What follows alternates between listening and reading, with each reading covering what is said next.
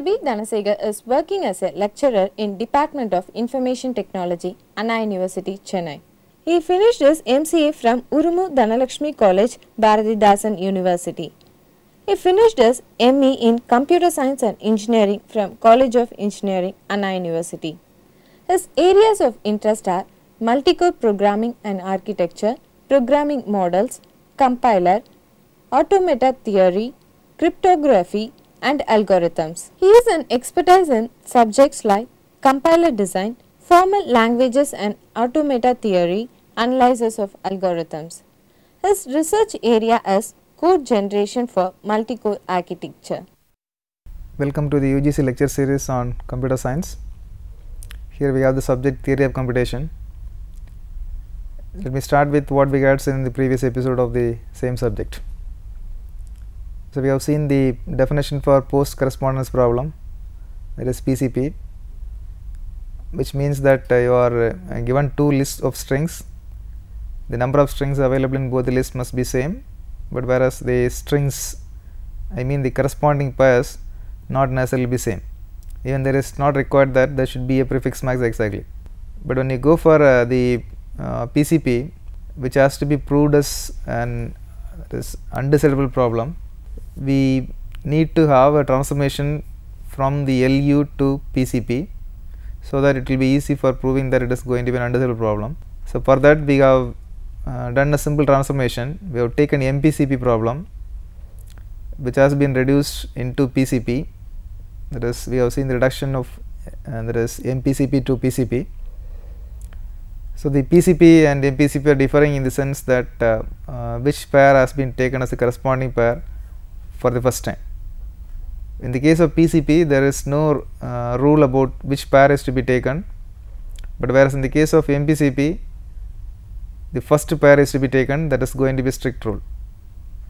But when you are reducing MPCP to PCP what happens is the whatever the condition available in your MPCP that is the condition that we must start with the very first pair is no more in PCP, but is implicitly that we can start only with the very first pair. We cannot start with any pair other than that because in such a way that the MPCP has been reduced into PCP. So, if MPCP has solution then we can claim that PCP has solution. If MPCP has no solution then PCP is also not having solution provided the PCP is obtained by reducing MPCP into PCP by that construction. So, today we are going to prove that the MPCP is reducible to PCP. So, here the two lists are given for you that is as far as MPCP is concerned we have list A and B and the solution is let it be I 1, I 2, I 3 etc. up to I m. Now, we are having the concatenation since it is going to be MPCP we must take the first pair that is W 1 and here it is X 1 then rest of the things are obtained by taking the solution space the resolution space means the index sequence I 1 to I m. So, W i 1, W i 2 etc. up to W i m and x i 1, x i 2 etc. up to x i m.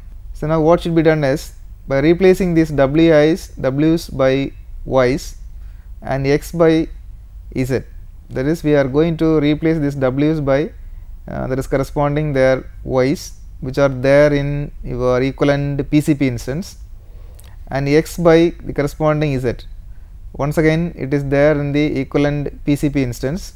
So, what we should do is we will be having an equal almost equivalent string called y 1 y i 1 y i 2 etc. up to y i m and we will be having z 1 z i 1 z i 2 etc. up to z i m which shows that the difference is the star is actually missing in the beginning of the first string and the end of the second string that is star y 1, but in the right hand side it is going to be star after z i m we have a star.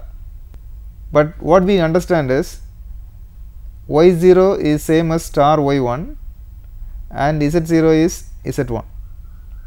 So, the initial star can be fixed by replacing the first index by 0 giving we are having y naught and here it is z naught.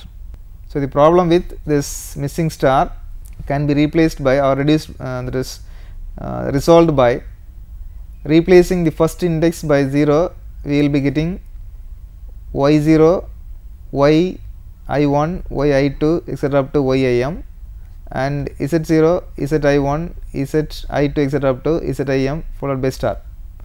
So, now once again we are having a star at the end. So, the final star how do we handle that is it is by appending the index k plus 1. So, what this k plus 1 is actually is your k plus 1 is in y it is dollar in z it is going to be star dollar. So, now we will be having y plus 1 appended on both that is on the left hand side and z k plus 1 appended on the right hand side. So, thus giving you only dollar on the uh, end of the right hand side, so left hand side and a star dollar on the rightmost end of the uh, right hand side. So, now we will be having a new solution which start with 0 and uh, I 1, I 2, I 3 etc. up to I m and finally it terminates with k plus 1 which is going to be solution of the instance called PCP. So, this proof shows that so any MPCP can be reduced into a PCP and also if the given MPCP has solution then definitely we can claim that the corresponding PCP is also having solution. So, if the MPCP starts with the solution that is W 1 and X 1 on both sides then followed by we are having I 1, I 2, I 3 etc. up to I m that is going solution space. Then in the case of your corresponding PCP the solution space is 0 followed by I 1, I 2, I 3 etc. up to I m and it is terminating with k plus 1. That is the last pair to be used is the k plus 1th pair and the first pair to be used is the 0th pair. It means the solution implicitly it starts with the 0th pair, but we can't start with any other pair because we do not find out any other match. We have to start with 0th pair and it goes up to k plus 1th pair. So, every MPCP can be reduced to PCP and if it is possible for the reduction then if the given MPCP has solution certainly we can claim that the corresponding PCP is also having a solution. So, that is about the proof. So, now the question is how do you prove that PCP is undecidable. So, there is a simple framework given here actually the PCP is the final outcome. We have LU that means the universal language. The universal language is already proved as an undecidable language because of for LU there exists a Turing machine. So, now this LU is transformed into MPCP an instance of MPCP. There is a given LU there is a Turing machine problem. We write a simple algorithm which is polynomial in nature that can be transformed into that is MPCP instance and already we have seen the transformation of MPCP instance to PCP instance which means your LU is reducible to MPCP and MPCP is reducible to PCP which implies if LU is undecidable then PCP is also undecidable. So, that is what the procedure. So, we need to have the transformation from LU to that is MPCP by writing an algorithm for that and then MPCP to PCP an algorithm for the same, but we have seen earlier how that is been transformed by forming two new lists. So, once the we have the proof that LU is undecidable because of these reductions these subsequent reductions will prove that PCP is also undecidable. So, now we shall take one instance of an ins that is LU problem that is universal language and we shall see that how this LU is reduced into MPCP. As far as LU is concerned what will be given for you is an universal language that is a Turing machine of the form m comma w and this problem has a solution provided m accepts w it has no solution provided m does not accept w. So, that is the reason why we claim that it is going to be an LU problem. So, now we are constructing an instance of uh, that is two lists that is A and B of MPCP, but subject to the condition that the TM m accepts W if and only if the instance A comma B has a solution. So, LU is given means you are given a Turing machine and a string that is m comma w is given and that instance has a solution provided w is accepted by m. Now, we transform this m comma w into two lists a comma b such that if m comma w has a solution then we can claim that a comma b also has a solution. If m comma w has no solution then the instance of the PCP that is your MPCP uh, a comma b is also not having a solution. So, the question is what what it does is the MPCP instance of a comma b that is it is simulating the computation of m on input w. So, whatever be the steps required for verifying whether w is accepted by this m or not it is going to be simulated by your MPCP. So, what do we have as partial solution is it consists of the strings that are prefixes of the sequence of IDs of this m. So, when you look at the transformation that your uh, recognition of strings by any Turing machine it keeps on generating the subsequent IDs. So, maybe starting with q naught it will keep on produce subsequent IDs and uh, those IDs will be the equivalent partial solution as far as MPCP are concerned. So, as long as partial solutions are, are, are they are generating subsequent IDs of the corresponding Turing machine the equivalent problem in your MPCP has a partial solution. Whenever the Turing machine that is m stops without making a proper move or whenever it finds that there is no valid move further available then the equivalent MPCP says that there is no corresponding pair to match with the partial solution.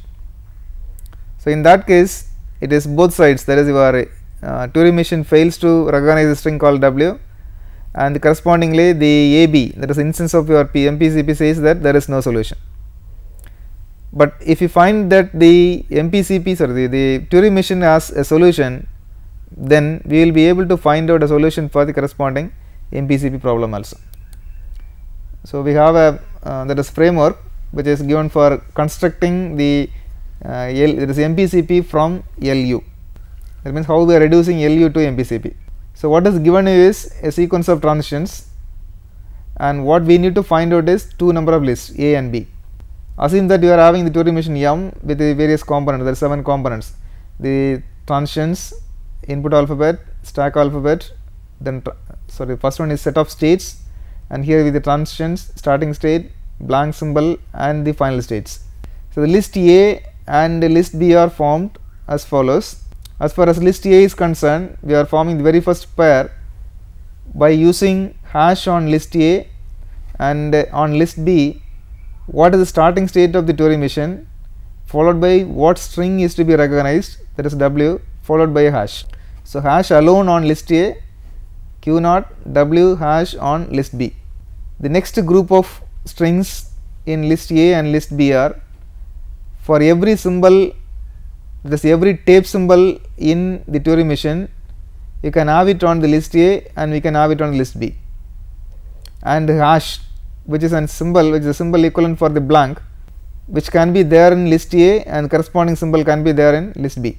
That means, every symbol from the tape alphabet can be appended any number of times and one or more number of hash can also be included on the end of the string. So, this is the purpose of having the list A and list B from first two groups. But whereas this third group it is actually formed by generating the various uh, that is transitions. So, the initial state has been recognized first of all by knowing what is the starting state and what is the string to be processed by using that we are getting two number of groups and the third group is obtained by constructing or seeing what are all the various transitions available in the given Turing machine. We shall go for a short break and then we will continue this.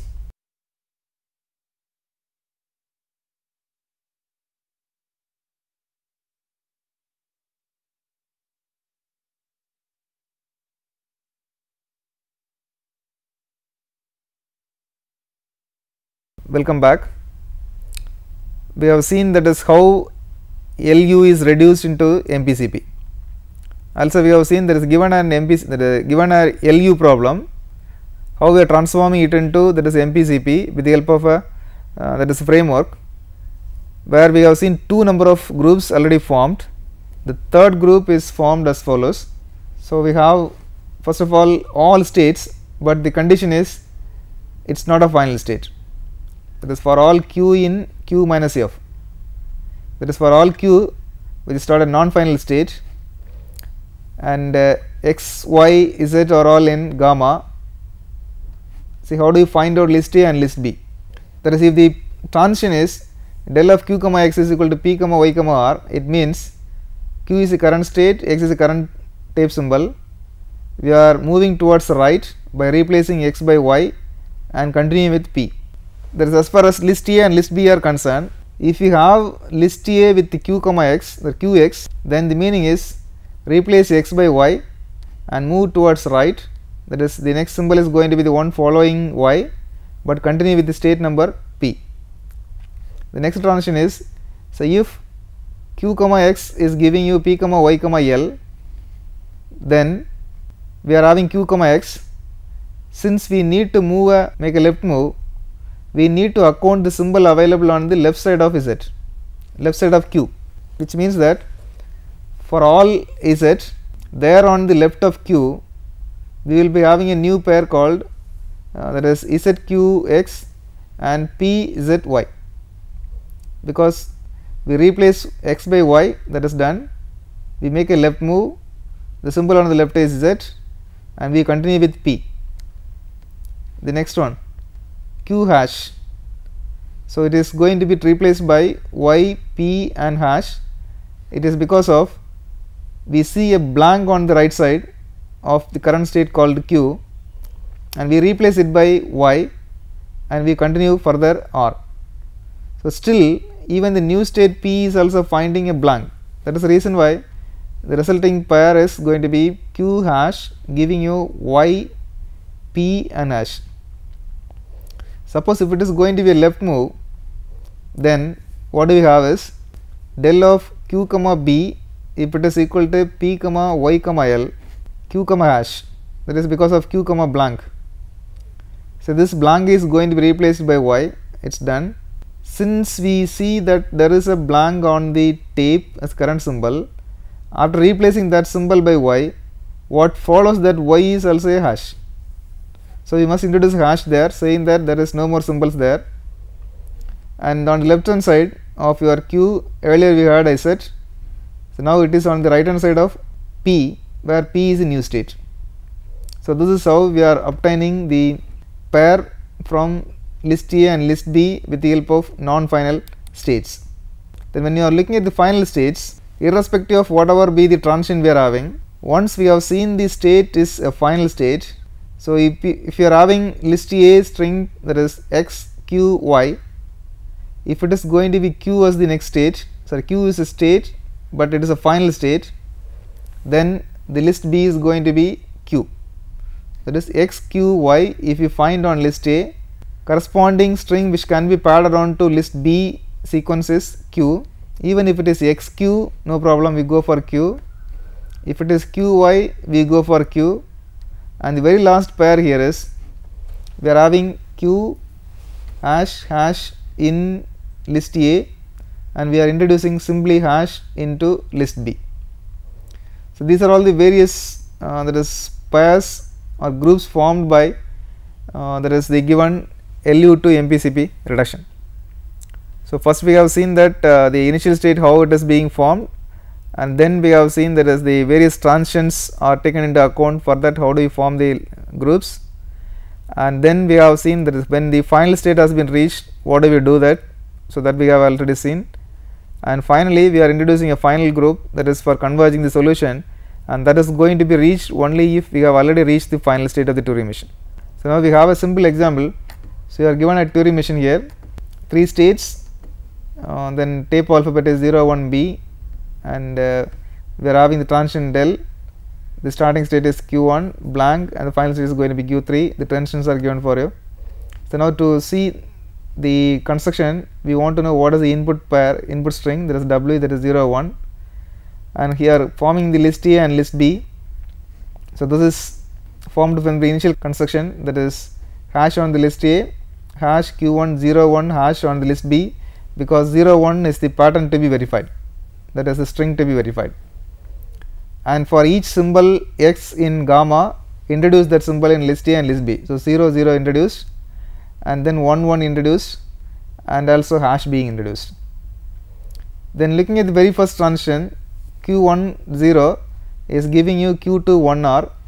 So, q 1 0 is going to be 0 replaced by 1 it is a right move. So, go for the next to right next to 1. So, we are having q 2 and then it is going to be q 1 1 is giving you q 2 0 l that is second transition. It means a 1 replaced by 0 move towards left. So, q 1 1 on the left hand side of q 1 we may have either a 0 or 1. So, both must be taken into account now. So, 0 q 1 1 1 q 1 1 and here it is q 2 0 0 that is the result of replacing 1 by 0 and the second one is once again it is q 1 1 means it is going to be you are having q 1 1 it is q 2 0 l and what happens here is this 1 is replaced by a 0 and we are moving towards left. So, q 1 1 is there and uh, we have actually replaced this 1 by 0 and move towards left. So, we will be on the left of 1 because 1 already is there on the left of this one. Then if you are looking at del of q 1 comma b the result is uh, the output is q 2 1 l here we handle it by introducing hash there.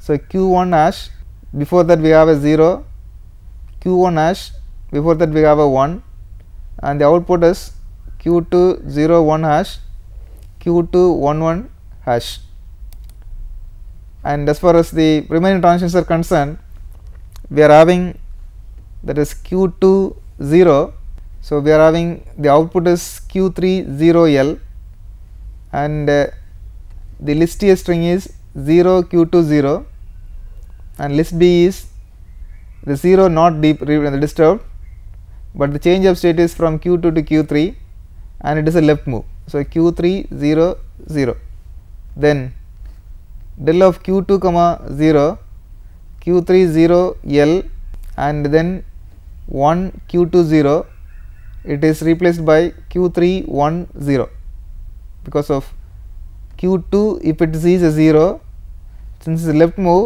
we must account the left symbol also. So, it is going to be q 3 1 0.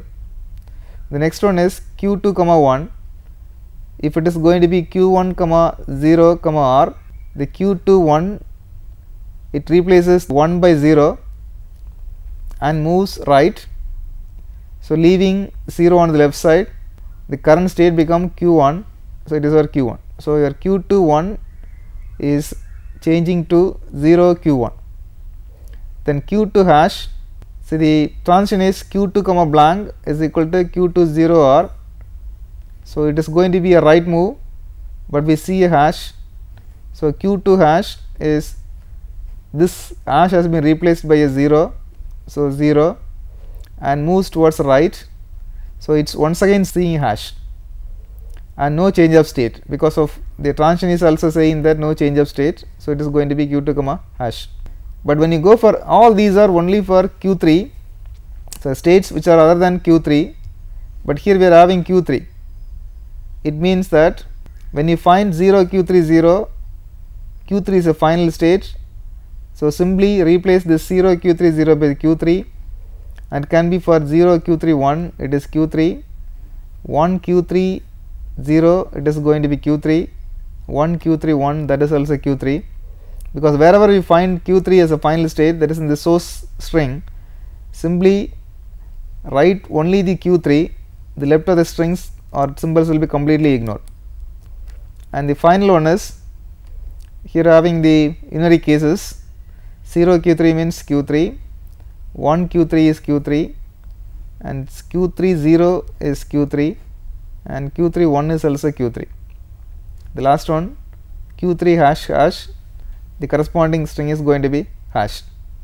So, this is how we are forming the uh, there is reduction from LU to MPCP. So, what is given actually is a Turing machine along with the set of all transitions and what we get out of that is we are having two different lists list A and list B are obtained. So, three stages first the initial stages initial groups the second one is going to be the various transitions and how they are transforming it into uh, the equivalent groups and final one is on seeing the final state what should be done.